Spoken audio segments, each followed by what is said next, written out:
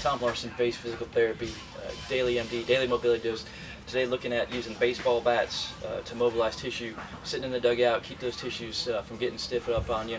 Uh, really working on quad today, a little bit of hamstring, hamstring pulls, happy you come up off the bench, sprinting down to first base, tear your hamstring, pull your hamstring. So we're going to try to eliminate that uh, by keeping the tissue mobile using the baseball bat. So um, here at Play It Again Sports again, uh, borrowing this bat and uh, just going to show you how to roll through that quad.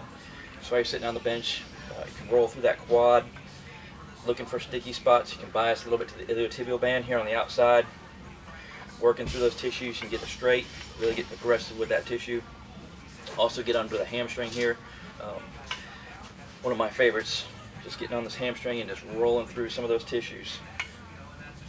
Really just keeping that tissue soft and mobile get into the adductor here a little bit as well. You can bias into that too. So there you have it. While you're sitting on the bench watching the game, uh, don't get stiff. Just keep working on that tissue. Keep it from getting uh, very stiffened up on you. Limit your chance of tearing the tissue. So uh, there you have it. Mobilizing leg with the baseball bat. See you all tomorrow.